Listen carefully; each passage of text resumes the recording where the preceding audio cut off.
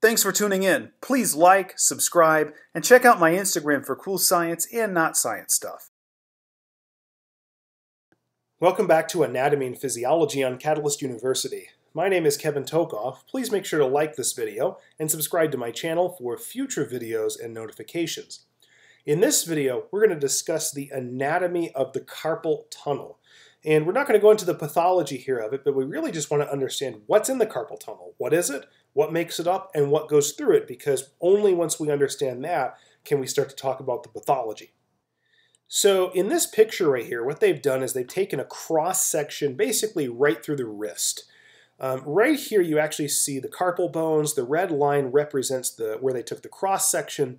It's pretty much splitting the eight carpals right in half. Remember, there's eight carpal bones, two rows of four. There's a proximal row of four and a distal row of four. And it turns out that there's a piece of tissue called the transverse carpal ligament, which is going to span between several of the carpals. Now, looking at this picture right here, this thick piece of connective tissue, where I'm going over with my mouse, this is the transverse carpal ligament.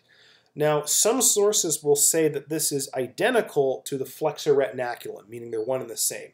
They're not technically one and the same. The transverse carpal ligament is a piece of the flexor retinaculum. Okay, they're very similar, basically. But more specifically, this is the transverse carpal ligament. And there's two components of it. There's a radial part and an ulnar part.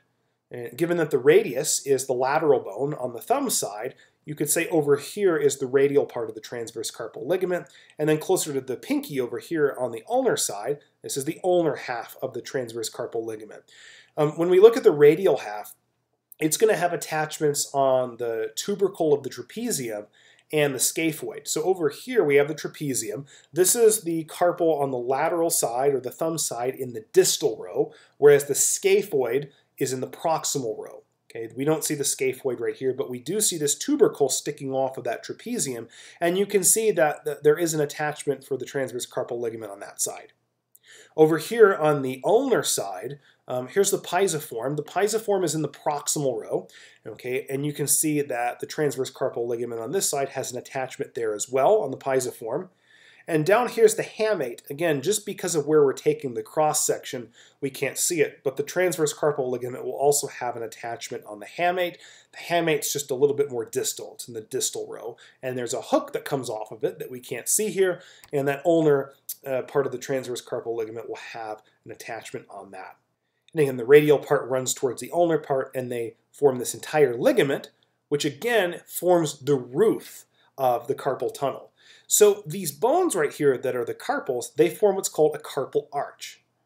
Okay, that's the floor, the carpal arch, and the roof is made up by this transverse carpal ligament, and that ligament converts the arch into a tunnel.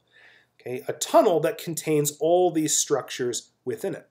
Okay, now before we get into those contents, let's talk about some other functions of that transverse carpal ligament. Uh, number one, uh, the transverse carpal ligament, as part of the flexor retinaculum, forms attachments for the thenar muscles and hypothenar muscles. So again, if you haven't studied those, those are intrinsic muscles of the hand. Um, if you look at your thumb, on the palmar side, there's a large bump, um, a large eminence, that's the thenar eminence, and there's three muscles in there that's called the thenar muscles. And on your pinky side, also on the palmar aspect, there's another bump, not as big as the thenar eminence, that's the hypothenar eminence, and there's three hypothenar muscles. And those muscles are going to partially originate off of the flexor retinaculum, uh, in particular that transverse carpal ligament. In fact, right here you can actually see some of those thenar muscles on the thumb side, and you can actually see that they do have some attachments on that ligament right there. Also, the transverse carpal ligament helps to maintain the transverse carpal arch. We'll talk about the hand arches in later videos. And it also is going to act as a restraint for bowstringing of the flexor tendons. Again, within this carpal tunnel, we have many flexor tendons, and by having this uh, ligament go over them, it prevents them from bulging out whenever we go into wrist flexion. Okay, now for the contents of the carpal tunnel. They're all shown right here. The first two right here kind of go well together. Those are the tendons of flexor digitorum profundus and flexor digitorum superficialis. Okay, so if you look right here, uh, these four that are kind of in this lightish blue color almost, maybe a light gray, These right here, as you can see, are the tendons of flexor digitorum superficialis. Understand these are all tendons, not the actual muscle bellies. Those are up in the forearm. These are just the tendons. Um, and so then beneath those, you see the tendons of flexor digitorum profundus, maybe in sort of this light skin color almost. Okay, um, It's important to understand that the flexor digitorum superficialis tendons are just that. They are superficial, uh, and the profundus ones are deep to them.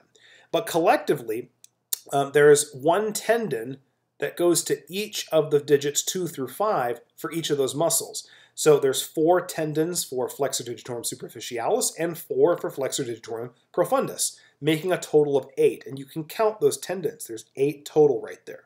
Okay. Now, a little bit closer to the thumb side, we have the median nerve here in yellow.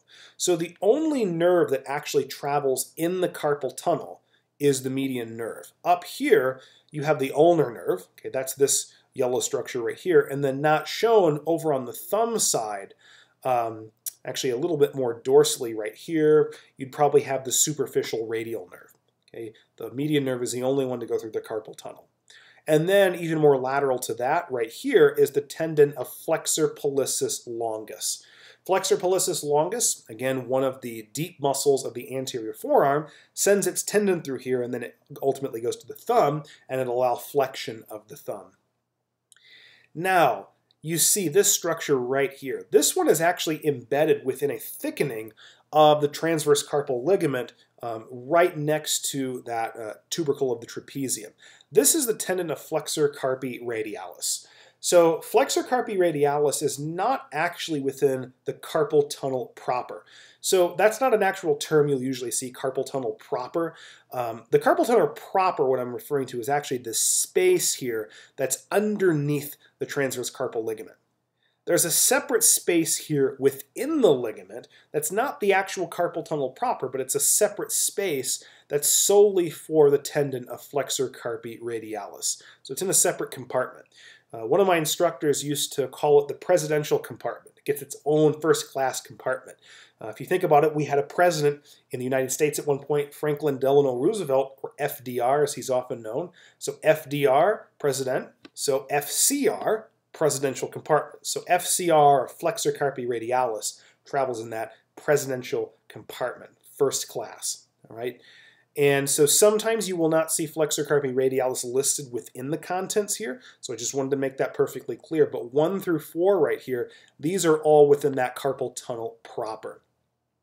Uh, now, a couple other things I want to mention here. If you look directly superficial to that flexor retinaculum, or this part which is the transverse carpal ligament, you'll see actually the tendon here of palmaris longus. That's not within the carpal tunnel. That's actually superficial to the transverse carpal ligament.